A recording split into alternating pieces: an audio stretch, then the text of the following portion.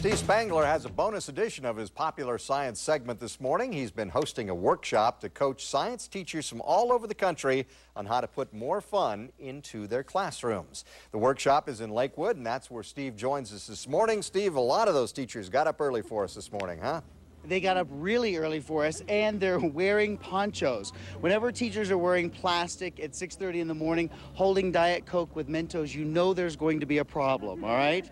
Uh, the teachers are here for the for the uh, National Hands-On Science Institute uh, version of Science in the Rockies, and all these teachers are, pretty excited about taking some of the activities back to the classroom. Kim Altenbombers from mm-hmm. Texas. We have 30 different states kind of represented here. Tell me uh, some of the problems, first of all, about teaching science in the classroom, because it's not one of the reasons you're here is because you're trying to learn some of those activities. Yeah, I think one of our problems is elementary teachers have forgotten how important science is. Um, it develops that critical thinking, so kids need that for all of their subjects subjects, and they're not just taking the time to put that into science. So.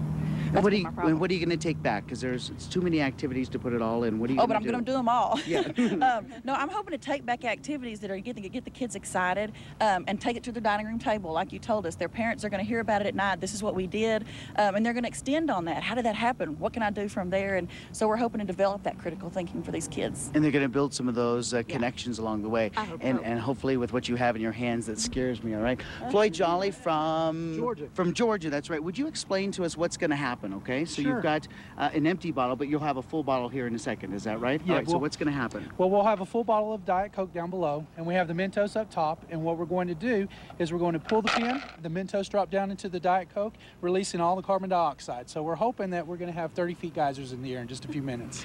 And of course, you could just, if they want to follow along at home, you could just drop the Mentos in, and all the carbonation comes out because we've got those little pits on the Mentos. Exactly. Is that right? Exactly right. Those little nucleation points. So when it comes up, we've built up some pressure, and we've exactly. got it, right? And the, and the Diet Coke's going to shoot straight in the air. Got it. And Carol, why Diet Coke? Because it's not sticky. That's right, and it shoots really, really well, doesn't it? All right, are you ready, people? Here we go. Put them on. We're going to do a little countdown. Holy fright. All right, I'm going to step right over here. Are you ready? Here we go. Five, four, three, two, one. Pull. Nice job.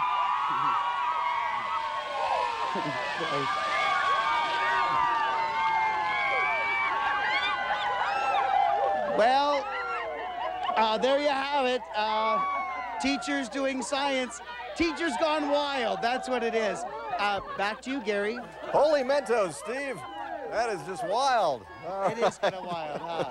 that was fun. Thank you for that. All right. Thank you. Video clip of Steve and uh, the teachers. You can log on to 9news.com. Just click on the morning show button, and I'm sure that'll be on YouTube soon, too. We'll take a break. Be right back.